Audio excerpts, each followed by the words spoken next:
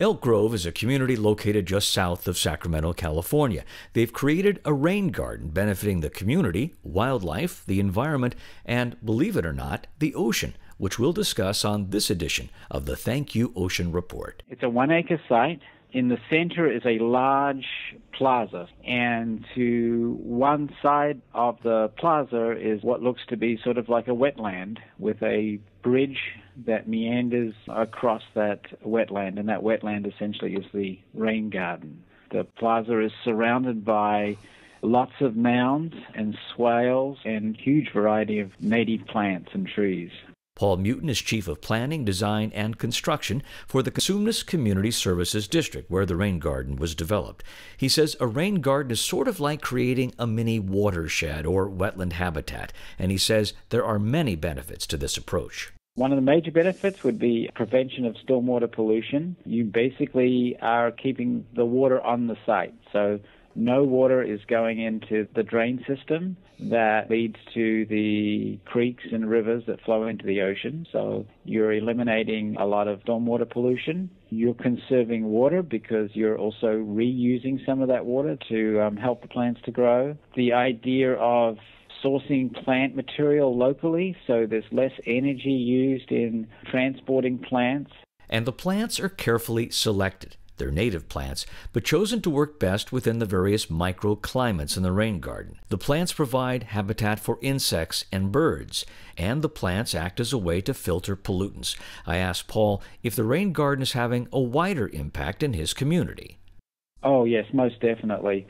We have been doing bioswales as a part of our projects for probably five or six years. We've been using native plants, we've been using the subsurface drip irrigation where possible. By putting all of these ideas, if you like, into one garden, we can see how they perform over time and apply them on a larger scale. It's going to be a valuable resource both for us and for developers and other people in the construction industry.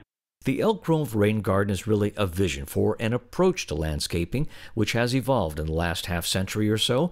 Greg Gearheart is Senior Water Resource Control Engineer for the California State Water Resources Board. The way of the 50s and the 60s and in the last century was really to build our communities out in a way that moved the water as quickly as possible away from the houses and the property and the other issues that could cause a problem at the local site and just move that water away, get it downstream and get it into a larger system. But Greg says this fast moving water also carries pollution into the waterways all the way into the ocean.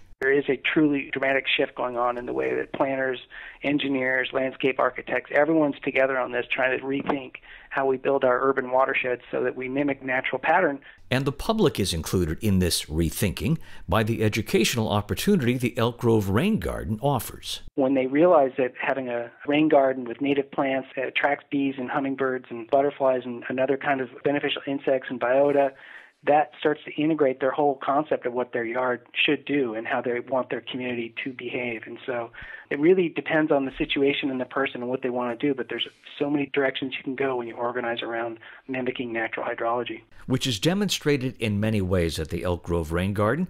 I asked Paul Mewton at the end of the day, how does he feel about the garden? Oh, I feel wonderful about it. It was one of the best projects I think I can remember working on here as a landscape architect. You get to try these things out, they're working. You see people come, it's sort of art, and it's technology, it's education, and then it's fun for the kids all at one time. Both Greg and Paul underscored there are many things we can all do to integrate these low impact ideas into our cities and gardens.